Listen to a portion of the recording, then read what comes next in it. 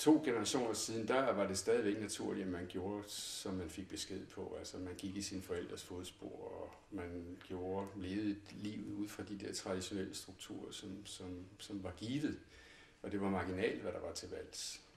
Det, det, er, det er vel nok i virkeligheden den, den hovedsagelige forskel. Så kan man så sige, at det, det forhold, vi har til hinanden, er altså ikke længere sådan i forskellige former for fællesskaber i så særlig stor udstrækning. Kort sagt, så møder vi hinanden mest i køer i det her samfund.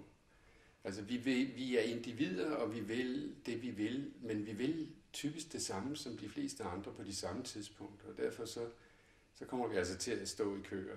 Øh, trafikkøer, køer til supermarkedets kasser, og køer til at rejse ud af landet om sommeren, og køer til uddannelse, og køer til velfærdsstatens øh, ydelser osv. osv. osv. Og og det, det har jo en særlig øh, indflydelse på den enkelte, vil jeg sige. Den enkelte bliver måske i virkeligheden sådan lidt øh, øh, i konkurrence med den anden enkelte.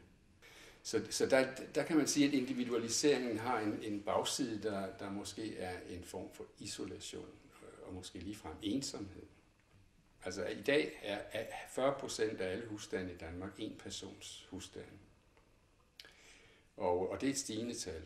Øh, og, og, øh, og i det omfang, man, man kan bygge sådan, at folk kan bo, øh, så de ikke nødvendigvis bliver totalt isoleret, men man faktisk kan bo i forbindelse med andre i samme situation, så, så er det måske i virkeligheden en, en, en løsning. Vi er nok individualiseret, men vi er masse individualiseret. Vi, vi, vi, vi efterspørger fællesskaber, men vi får masse. Jamen masse er ikke det samme, som det var engang. Det, det er ikke fysisk masse, sådan som andre øh, masse teoretikere har beskæftiget sig med det, øh, øh sammenstemlede masser på, på torve og, og, og så videre. Det er, det er adskilte masser, det er programmerede masser, altså masser, der er programmeret af enten af staten, eller af medier, eller af, af andre instanser, altså øh, produktionslivet, som, som reklame og så videre.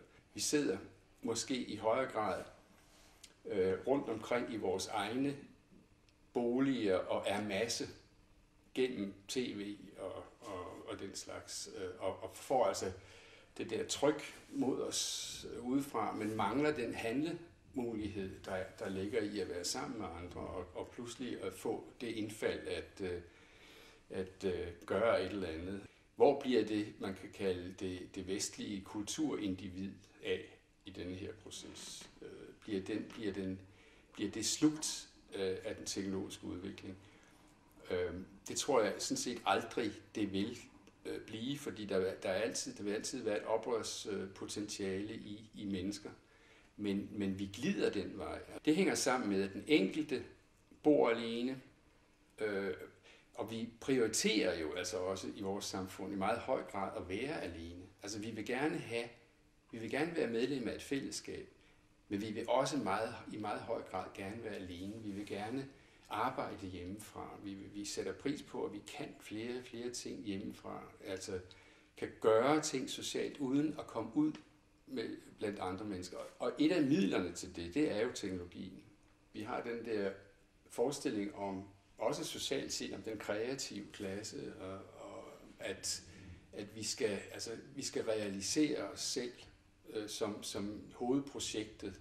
Og øh, det vil sige, at vi skal finde, vi skal finde de øh, sider frem af os, som, som er særlige og som, som, som kan ende med at give mit liv mening.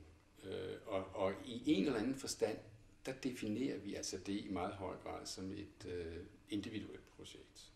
Det er den balance, vi prøver at finde mellem noget, der er fælles samfundsmæssigt, og så det individuelle. Øh, og, og, og det, kan man, det, kan man, det kan man godt øh, sammenfatte derhen, at vi, har, vi, vi prøver at arbejde med en balance mellem pligt og rettigheder. Fordi pligt handler jo om, hvad der tilkommer helheden, og rettigheder handler om, hvad der tilkommer den enkelte. Det, det, det lykkes aldrig særlig godt for os at finde den der balance, men det er lidt den selvforståelse, vi har.